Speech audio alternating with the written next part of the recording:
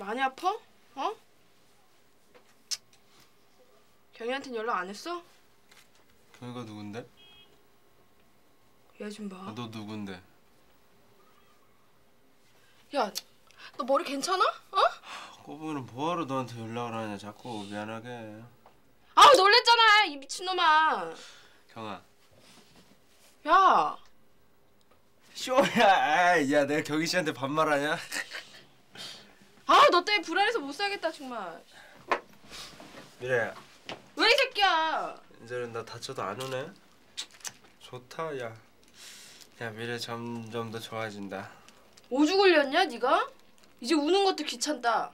나 너 죽어도 안 올 거야. 아이 그럼 섭하지 내가 또 할 거야 스턴트? 아니 쫑이야 이제 할 만큼만 해서 미련 없다 야 왜? 촬영장에서 확 꼴까닥하지 멋있잖아. 신문에 이름도 나겠다 야. 꼭 빙신 같은 것들이 영어처럼 살다 죽을라 그래.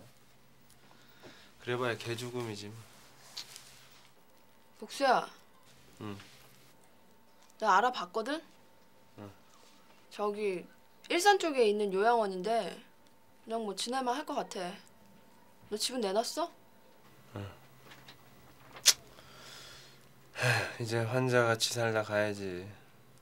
혼자서 조용히. 내가 자주 옆에 있어줄게. 싫다.